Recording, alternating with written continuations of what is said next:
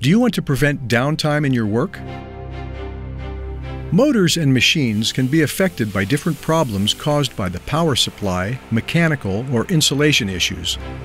All these problems will result in motor overheating. Fluke Thermal Imagers will help you find hidden problems in motors quickly, as well as the location of hotspots in electrical, loose, or corroded connections. Overheated motors can cause serious downtime issues when they are not detected in time. These inspections need to take place during the production cycle to be able to see the real-time temperature of a motor. Compare your findings with the specifications of the motor itself. Overheated motors should be checked with a Fluke 805 vibration meter to rule out the presence of serious vibration problems. You will be able to repair problems before they occur and provoke an unscheduled stop to your production. Proper temperature measurements are only possible on focused images.